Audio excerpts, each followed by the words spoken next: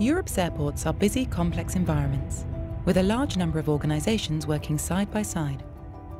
Whilst many compete, together they share the common goal of safe and efficient journeys.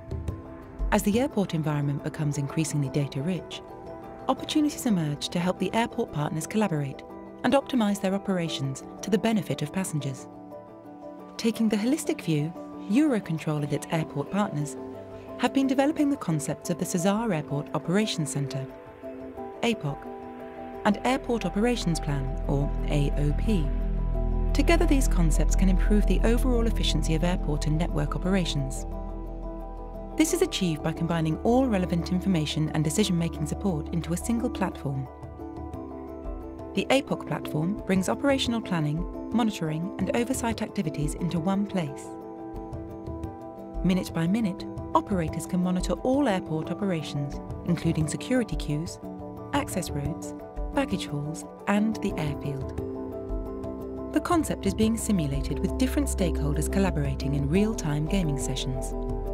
These cover typical airport scenarios, such as adverse weather conditions, problems within the terminal, or reduced runway capacity. By coordinating the activities of each stakeholder, APOC seeks to avert problems before they happen. But APOC and the AOP are more than a concept. Initial services are already implemented at Paris Charles de Gaulle and London Heathrow airports.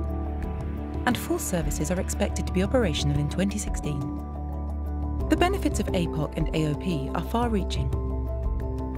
By more stable planning of resources on the ground and in the air, there will be a better balance of capacity and demand. APOC will enable airports to manage their resources more flexibly, which will lead to a greater predictability and fewer delays. Benefits will be particularly evident in adverse conditions such as poor weather. These improvements will follow through to the network level, with increased network efficiency, predictability and resilience. In the future, airports will be better integrated into the overall air traffic management network by sharing information between individual airport operations plans and the network operations plan taking advantage of SESAR's concept of system-wide information management. For more information on this and other groundbreaking airport projects, visit our APOC web pages at eurocontrol.int.